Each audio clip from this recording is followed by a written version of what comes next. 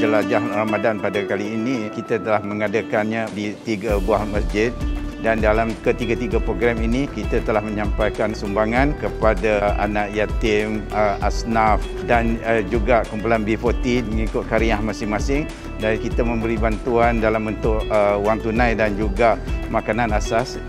Kita berharap bantuan ini dapat meringankan uh, beban mereka dalam menghadapi bulan Ramadan ini dan juga seterusnya uh, hari raya nanti. Uh, secara keseluruhannya kita mendapat sambutan yang baik daripada komuniti dan melalui program-program ini uh, LADA dapat turun bersama komuniti mengadakan kunduri berbuka puasa bersama mereka dan semoga silaturahim dan ya, ikatan uh, ukhuwah kita terus terjalin dengan baik. Dari pihak LADA kami mengucapkan Selamat Hari Raya Maaf Zahir dan Batin.